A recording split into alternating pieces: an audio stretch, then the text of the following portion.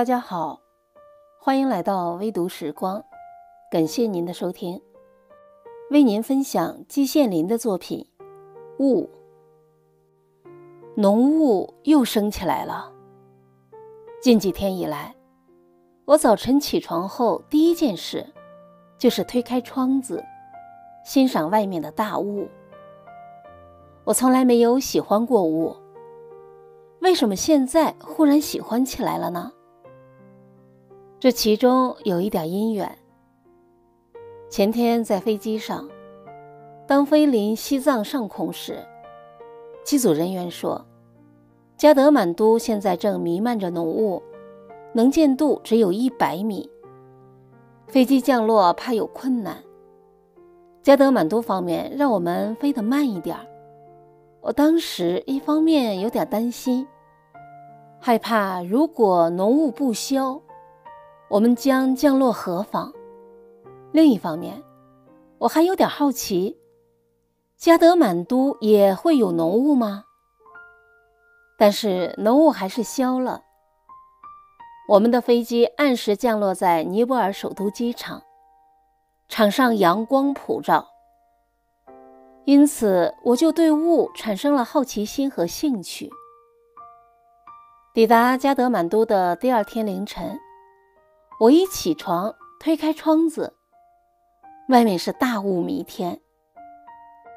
昨天下午，我们从加德满都的大街上看到城北面崇山峻岭，层峦叠嶂，个个都戴着一顶顶的白帽子。这些都是万古雪峰，在阳光下闪出了耀眼的银光。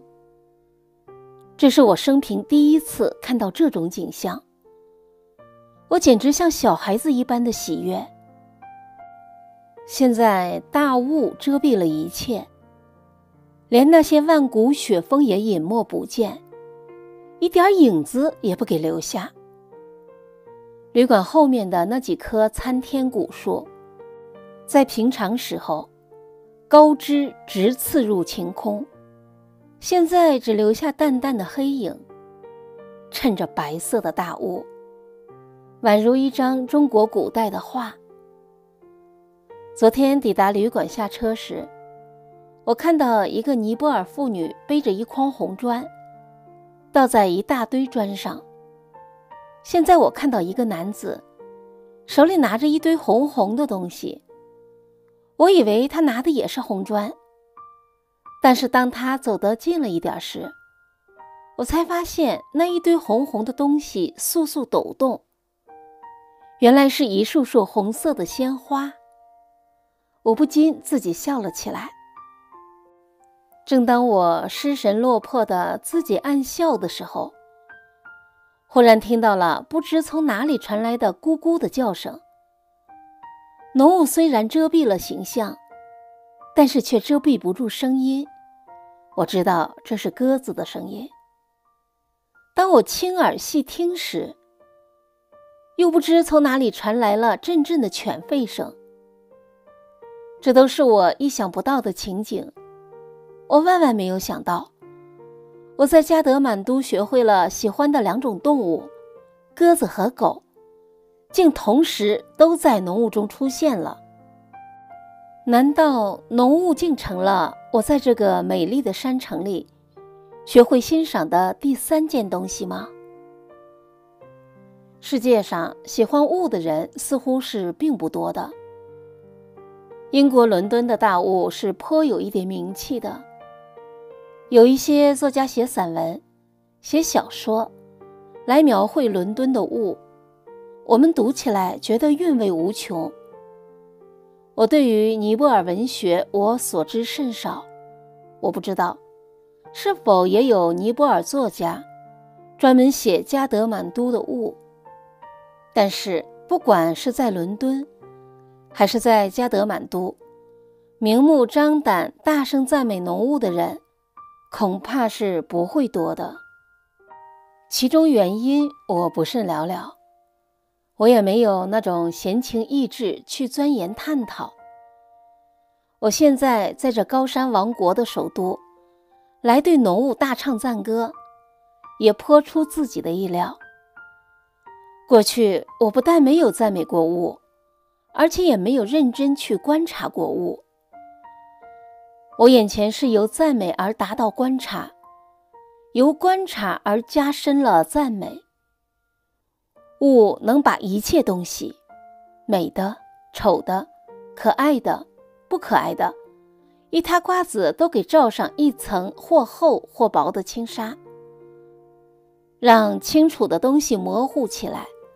从而带来了另外一种美，一种在光天化日之下看不到的美，一种朦胧的美，一种模糊的美。一些时候以前，当我第一次听到“模糊数学”这个名词的时候，我曾说过几句怪话：数学比任何科学都更要求清晰，要求准确。怎么还能有什么模糊数学呢？后来我读了一些介绍文章，逐渐了解了模糊数学的内容。我一反从前的想法，觉得模糊数学真是一个了不起的发现。在人类社会中，在日常生活中，在社会科学和自然科学中，有着大量模糊的东西。无论如何，也无法否认这些东西的模糊性。承认这个事实，对研究学术和制定政策等等都是有好处的。在大自然中怎样呢？在大自然中，模糊不清的东西更多，连审美观念也不例外。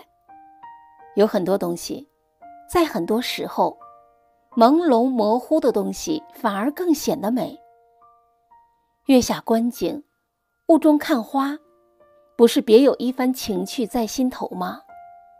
在这里，观赏者有更多的自由，自己让自己的幻想插上翅膀，上天下地，纵横六合，神驰于无何有之乡，情注于自己制造的幻象之中。你想它是什么样子，它立刻就成了什么样子。比那些一清见底、纤毫不移的东西要好得多，而且绝对一清见底、纤毫不移的东西，在大自然中是根本不存在的。我的幻想飞腾，忽然想到了这一切，我自差是神来之笔，我简直陶醉在这些幻想中了。这时，窗外的雾仍然稠密厚重。他似乎了解了我的心情，感激我对他的赞扬。他无法说话，只是呈现出更加美妙、更加神秘的面貌，弥漫于天地之间。